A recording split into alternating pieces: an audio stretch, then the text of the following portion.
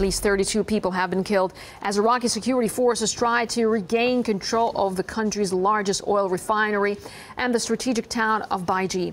Officials say many of the dead and wounded were civilians. The Islamist group ISIS had earlier claimed to have captured the refinery.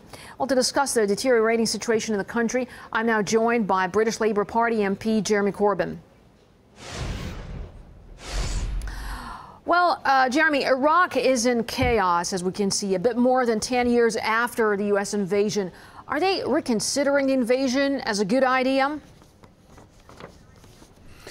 I think a lot of people in Britain that voted for the invasion, particularly members of parliament, are now thinking very deeply about the huge mistake that was made in 2003.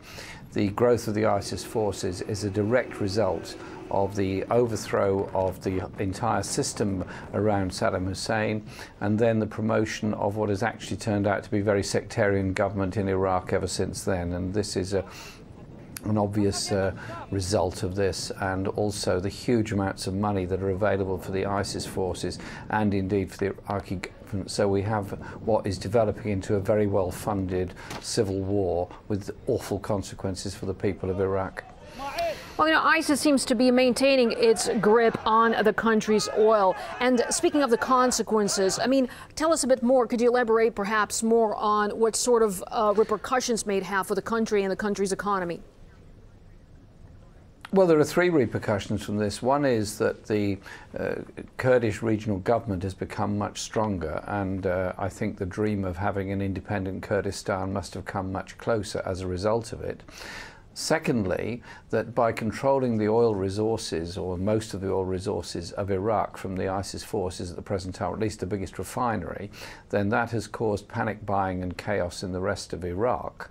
But it also cuts off a huge element of financial support for the government of, uh, of Iraq.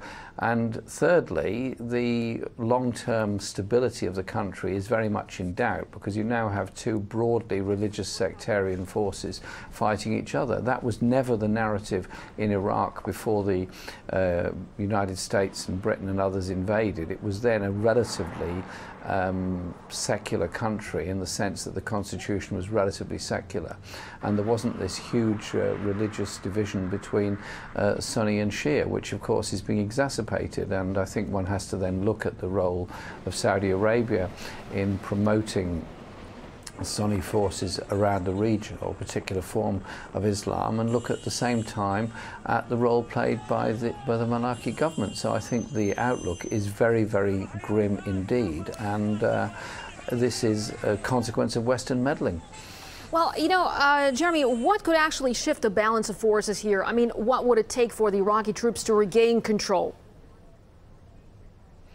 Well, I think it requires a sense of unity amongst people in Iraq that would want to be remain part of Iraq and also an acceptance and understanding of why so many people in some of the cities in the north have um, apparently been prepared to accept the ISIS forces. Yes, they are brutal. Yes, some of what they've done is quite appalling. Likewise, what the Americans did in Fallujah and other places is appalling. But there has to be seen to be an acceptance of a much wider view of the world than is apparent at the present time by the Maliki government. And uh, uh, whilst the US has not yet sent in large numbers of troops, the danger is that um, in this sort of perilous civil war that's going on, Western forces will once again be dragged in and the, the war will just go on for a long time with awful consequences for the people of Iraq. I think there has to be a political solution.